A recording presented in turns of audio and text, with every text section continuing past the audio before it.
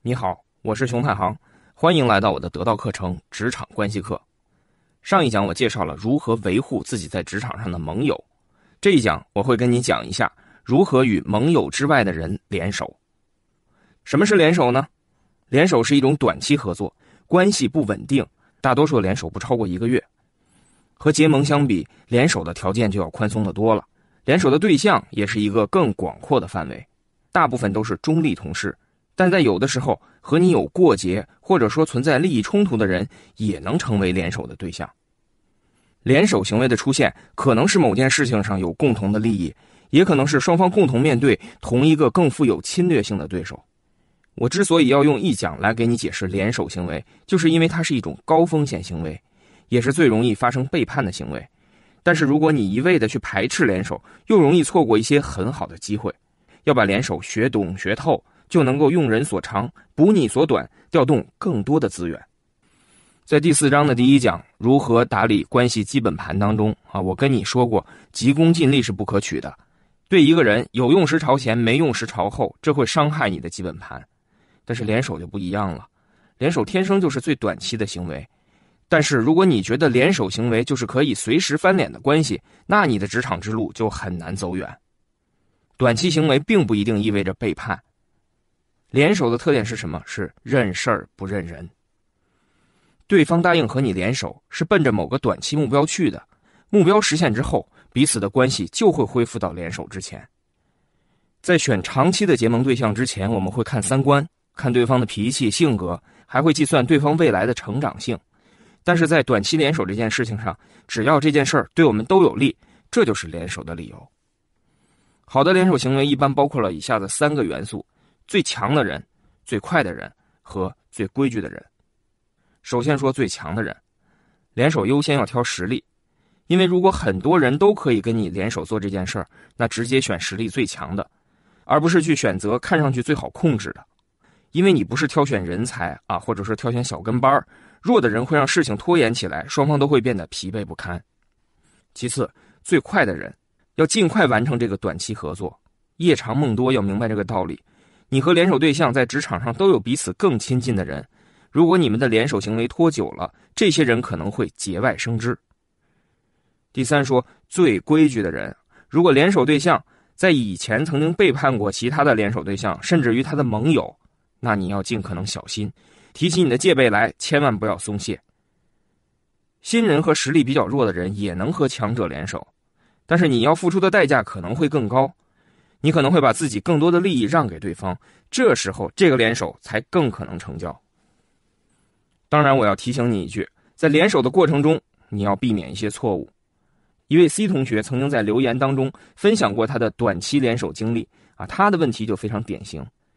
我是一位新人销售，前几天有一位客户来咨询，啊，我的年资有限，经验也很少，担心拿不下他，领导就找了一位老同事 B 来帮忙。B 和客户接触了几次，对方很满意，我就去忙别的了。一个星期之后，听说客户已经跳去了别的公司，B 还跟我抱怨说他给我打开了局面，我都没有后续跟进，这让我觉得很委屈。C 同学说的这种错误啊，是刚刚开始联手行为的时候的人常犯的一种错误。第一个错误是什么？工作没有分好。即使有的公司内部有规定啊，合作应该怎么样分配工作。但是两个不一样的人真实实现的分工可能就会不一样。如果是强强联手，那两个人能够快速达成一个差不多的工作量分配。如果这个联手是强弱配，通常是由强大的那一方来负责技术含量更高的工作，较弱的这个新人呢要分担一些琐碎的零活。具体到这个例子里，B 和 C 应该早一点明确各自的定位。需要有一个人开口说：“啊，我希望你做什么，我做什么。”强者开这个口，一般来说是顺理成章的。但是如果弱者来做安排，也可以做到彬彬有礼。C 就可以主动跟 B 来确认，客户的服务计划可能得麻烦您了，我来约时间、定场地，把准备工作做好。有啥需要帮忙的，您随时跟我说。如果 B 觉得这个条件可以接受，那大家就可以联手。联手就意味着你们两个人不够熟。你不要默认新人 C 懂规矩，而新人也千万别觉得老人就能够自己把所有的事情都做了。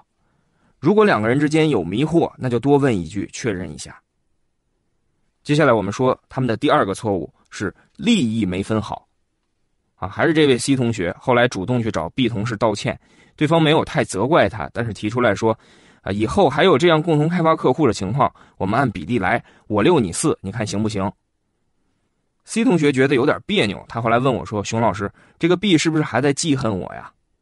这就是典型的想多了。在经历过一次失败的结盟之后，B 知道 C 的职场经验并不丰富。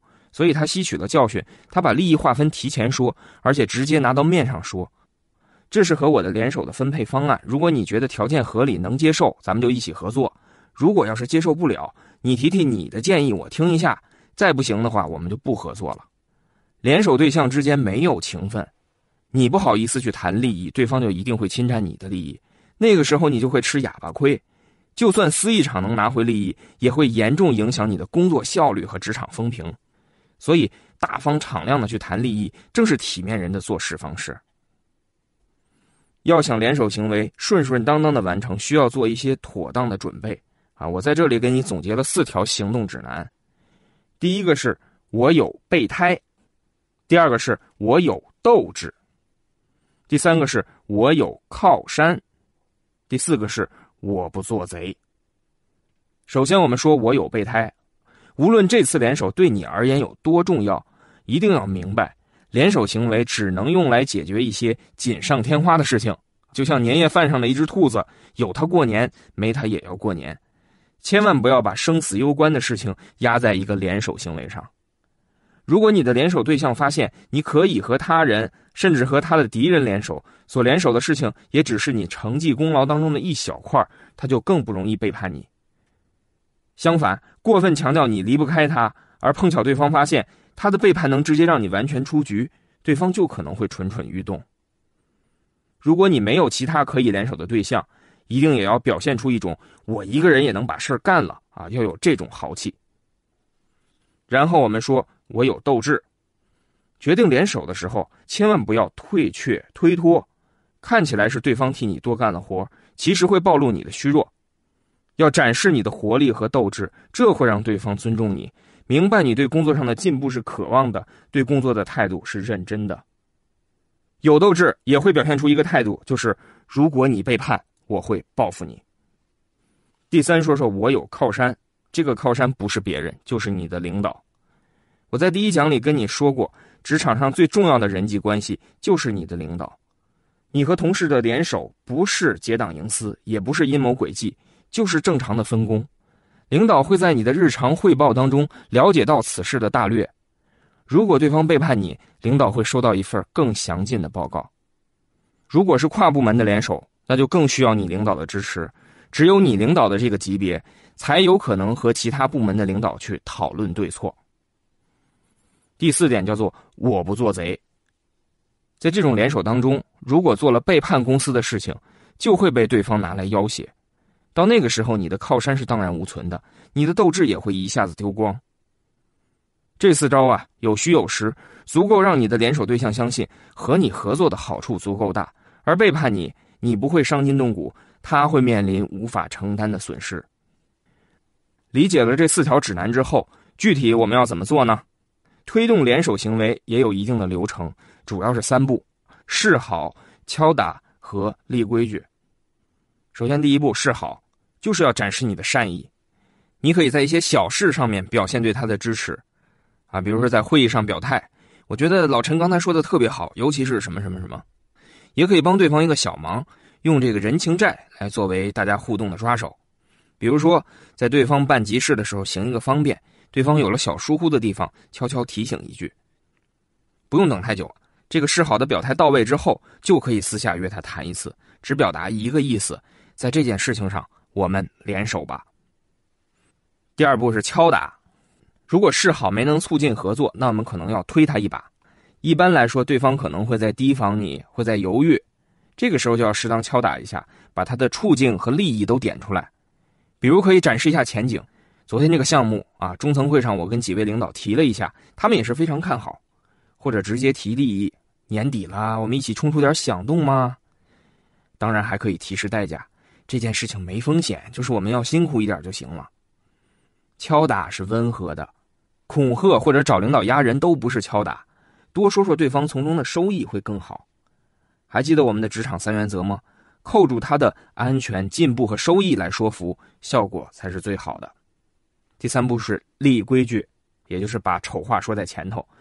除了刚才说的约定分工和利益分配，立规矩的时候还要做两件事。第一件事，进一步表达诚意，强调我看重这次结盟啊，我不会先背叛。第二是要提醒对方反水的代价，可以说的温和点啊，这是领导特别重视的一个项目，希望我们能够通力合作，都能在这个项目中有收获。不然的话，我们都会变得很被动。这就是特别得体的一种提醒。做不好，领导会灭了我，但是你也逃不过。最后再提醒你一句：无论再怎么有准备，在职场上的联手仍然是和过去关系疏远的人做短期合作，它是有风险的。所以在心态上啊，不要被背叛所震惊，也不要被背叛所折磨。你可能什么都没做错，你被背叛就是因为你们的关系不密切。所以不要依赖这种中立同事，要广撒网。